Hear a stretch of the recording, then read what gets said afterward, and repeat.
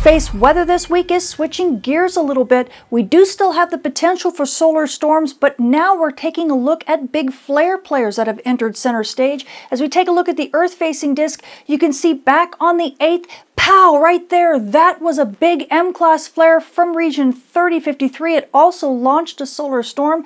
And then just a few moments later, pow, right there. That was region 3047 firing off yet another near M-class flare.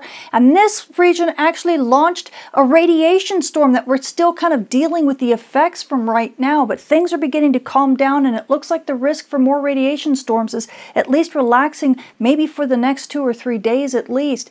But meanwhile, when we take a look at that solar storm that region 3053 launched, it is moving to the east of us. It doesn't look like it's going to hit Earth. It's going to be kind of a side swipe, so we doubt we're going to see all that much, but we could get more.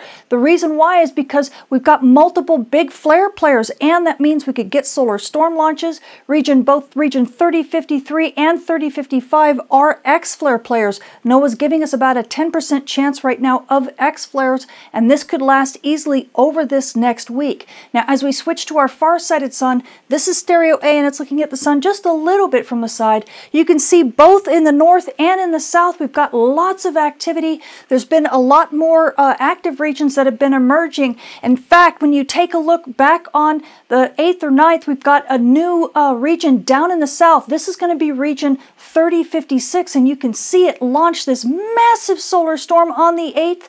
And that region means that we could be definitely seeing big flares from it as well as potential for more solar storms that could be Earth directed.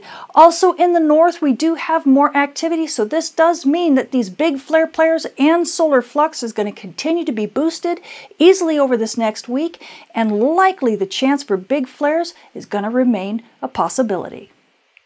For more details on this week's space weather, including how these big flare players and this radiation storm might affect you, come check out my channel or see me at spaceweatherwoman.com.